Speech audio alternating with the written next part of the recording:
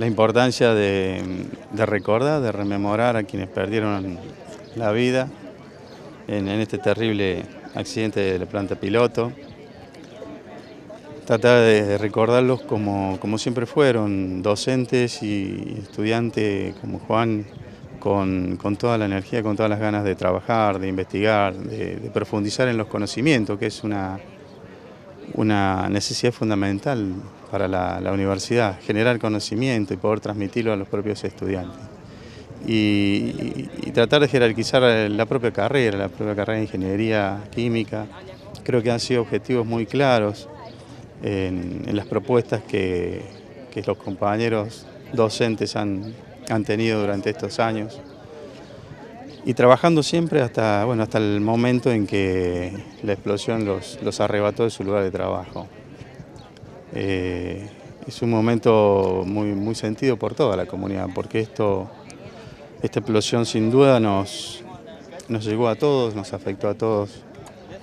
fundamentalmente a, los compañeros de la planta piloto, a todos quienes trabajaban en la planta piloto, eh, todo el departamento de química, de tecnología química, que ha tenido que superar también en estos años eh, además de los familiares, eh, superar ellos sus instancias hacia adentro, con otros contextos, con otras realidades, no solo la pérdida de compañeros y amigos, sino también el debate y el análisis de, alguna manera de, qué se hizo, por qué se hizo, cómo lo hicieron.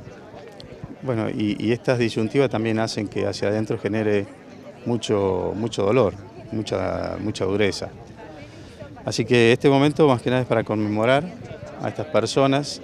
y a partir de ahí seguir comprometiéndonos a, cambiar el rumbo de las cosas, buscar de trabajar de alguna manera con más responsabilidad, tanto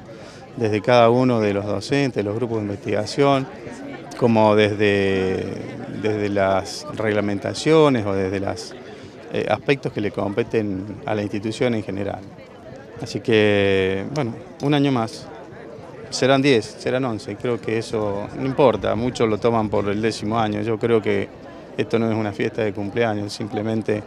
es un año más para seguir recordando la tragedia y para no olvidarnos de, de este momento.